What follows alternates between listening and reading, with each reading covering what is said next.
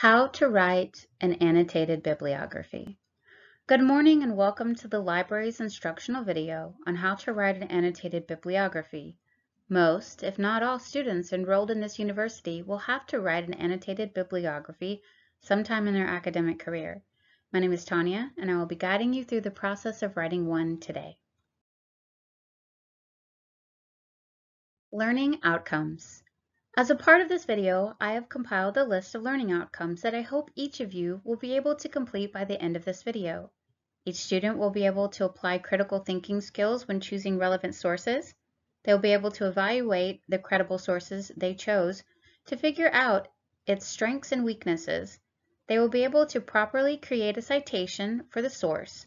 They will be able to create an annotation analyzing and stating the relevance of the sources each student will be able to define the importance of critically assessing the sources. And finally, each student will be able to use all of the above outcomes to properly format and create an annotated bibliography.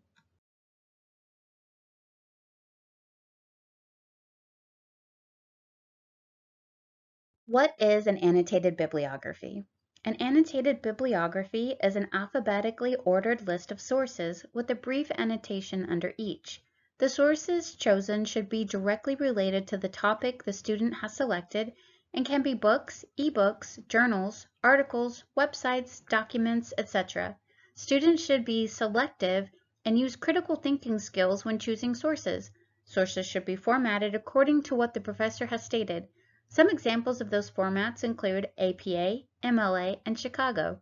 The annotation should add value by using varied styles of thinking, including critical, creative, and reflective.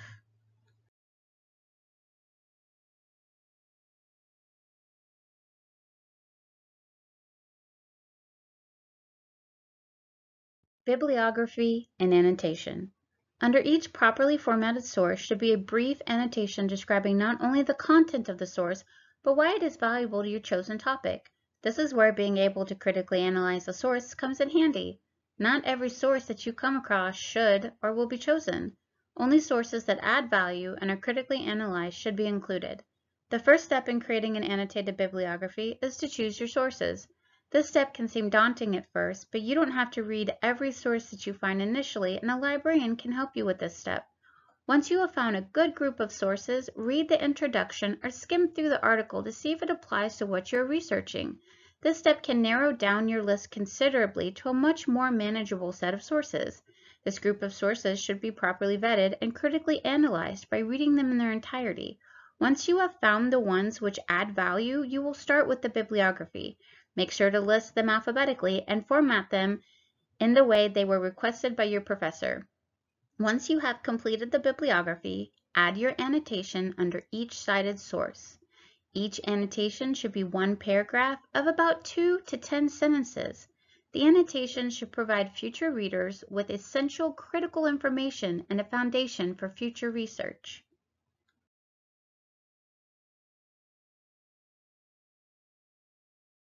Annotation. The annotation is definitely the hardest part and requires the researcher to have knowledge of the topic so that they can pick the appropriate sources.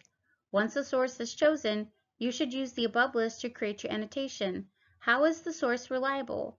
A good way to figure this out is to see if the material is peer or scholarly reviewed. Is the author credible? You have to do a little research on the authors to figure this one out. Who is the intended audience? Some examples could be academic, student, children, or even the public. Is the source relevant? When reading the material, a great way to figure this out is to see if it answers the research question and the importance of the information for your specific needs. Is the information correct? Accuracy is most closely related to credibility. Is it contemporaneous or current? If the material is outdated, then it definitely is not current. Does the author have any bias? If the paper leans far to one side, regardless of what the facts state, then it may be biased. Does the material allow the user to make up their own mind with facts? Objectivity is closely related to bias. The purpose should not be to sway, but to inform. What are the findings? When reading through the material, make sure you understand what the conclusion was. What research methods did the author use? Compare and contrast this source with the other sources in your bibliography. You don't have to stick to what is listed above, especially if you find something particularly interesting or valuable in the material you have chosen. Like previously stated, the annotation part should only be about 2 to 10 sentences, and according to King, should be no longer than 150 words. 150 words may sound easy, but it can be difficult to keep it under, so make sure to be succinct and brief. King also states that annotation should be about 25% summary, 50% critique and evaluation, and 25% reflection and closing marks. It is perfectly acceptable to go over or under because these numbers are approximations and should be used as suggestions. What is critical thinking? If you've ever chosen sources for a paper, then you've probably already used critical thinking skills and not realized it. These skills can be refined over time but have shown to not only help students excel at the academic level, but also later in life when dealing with real-world issues. According to Bodie, there is not a general consensus among scholars as to a concrete definition of critical thinking. There is, however, a general theme that can be seen in the works of those scholars about critical thinking. Often, being able to self-regulate and cultivate your thinking skills can help you achieve higher academic success, but most often those thinking skills are not formed by the time you come into the academic setting. Instructional videos like this one and instruction by the academic staff here are designed to help you refine those skills. Some have even questioned whether those skills can truly be taught, but this school of thought is outdated, and research has shown a growth in thinking skills from freshmen to seniors in an academic setting. According to Burbach and Matkin, critical thinking can be traced back to 2,500 years ago with the teachings of Socrates, Plato, and Aristotle, who encouraged their students to realize that things are not always what they seem on the surface. Often, people can consistently cannot consistently produce evidence for their opinions and instead base their arguments or rebuttals on emotions rather than facts. What's included in critical thinking? The purpose of thinking critically is to question all assumptions, bypass judgment, carry out evaluations and analysis, and know when to question. You must be able to carefully look at all sides of an issue or topic before choosing which is the most tenable. Critical thinking has three essential elements according to Bodie, and those are creative thinking, logic, and problem solving. Each of these essential elements are not equal to critical thinking, but instead make up what is involved in critical thinking. Creative thinking is the ability to look at something in a new way, and while this is involved in critical thinking, it's not the only component to it. Problem solving is quite narrow and does not define critical thinking because critical thinking involves exploration, but it's used in defining the ability to use knowledge, facts, and data to solve a problem. Logic cannot generate thoughts or theories, but can help the reader find fallacies. It is important to keep reflective thinking in mind when analyzing your sources.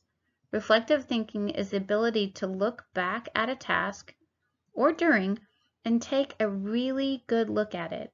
While you are reading the source and after, it's useful to evaluate how your mind interpreted what you read because this helps you monitor your own development according to Ghanizadeh.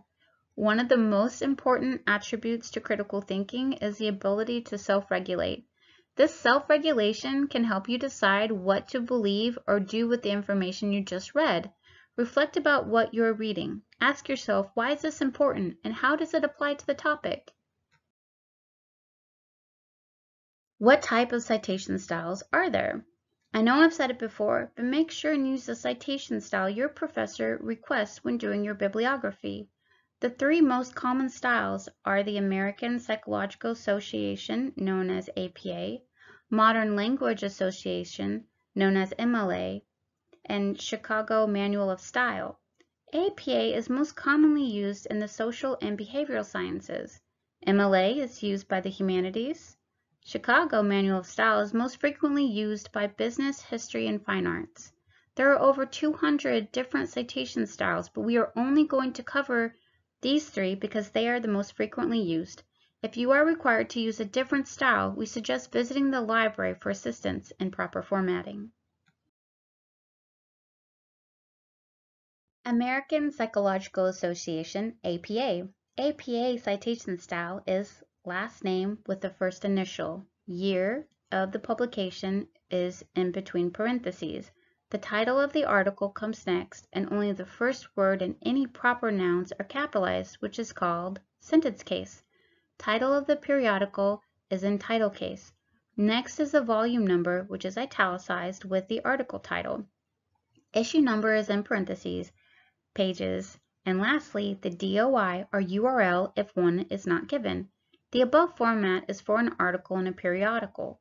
With all citation styles, the type of material used will determine the format of the citation. APA uses what is called a hanging indent so that the subsequent lines will be indented. Another important note is to make sure and use the addition that is required and to follow proper punctuation.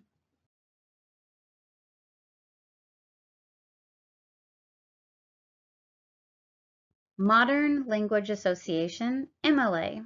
Similar to APA, MLA starts with the author's last name, but then has the whole first name.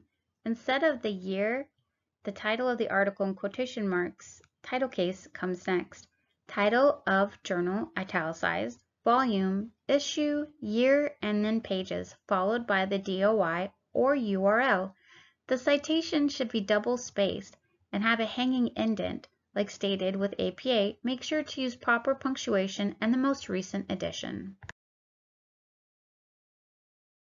Chicago Manual of Style. Chicago is quite different from the previous two citation styles. There are two different styles of Chicago, and today we are referencing the bibliographic style.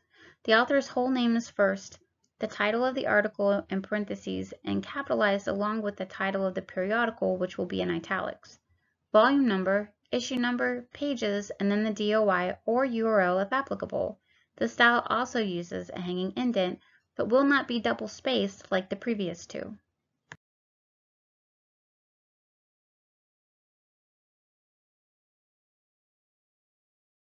What should you not do? Some simple things to avoid when writing an annotated bibliography are listed on this slide.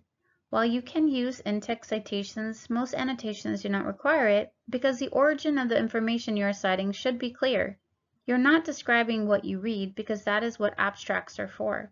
This is an original work by you, your interpretation assessing the value of the work towards your chosen topic and the overall quality of the source. Unless stated by your professor, annotated bibliographies should be in third person. Your assessment should not be based on your emotions are non-fact-based thoughts. Critical thinking and the evaluation of the source should be stressed over the actual search for sources. Does anyone have any questions? If no one has any questions, we will move on to the exercise.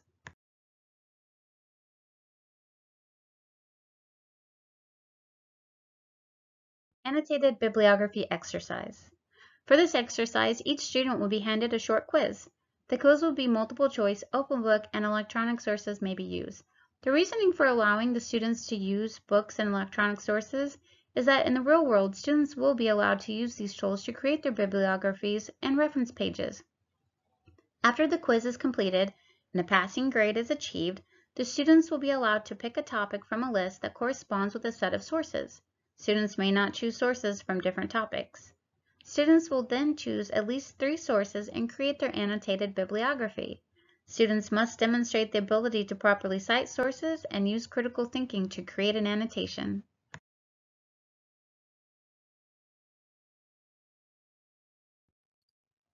References